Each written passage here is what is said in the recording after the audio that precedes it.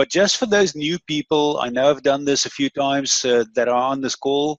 What we are going to show you is that in 2012 11, Bitcoin dropped 85%. And have a look at these yellow drops here.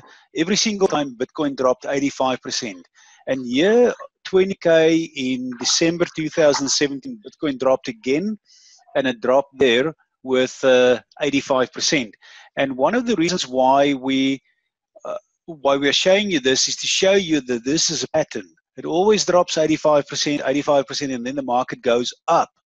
Now, when it dropped yet 85%, 2012, 2011, it went up 650%. When it dropped here in 2013, it went up 2,500, 2,600%.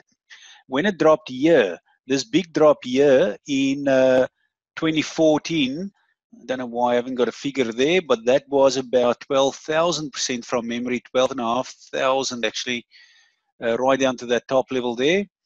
Uh, it went up 12,000%. And what we expect now, after this 85% drop, we can clearly see, in our opinion, that the low for Bitcoin is most probably in.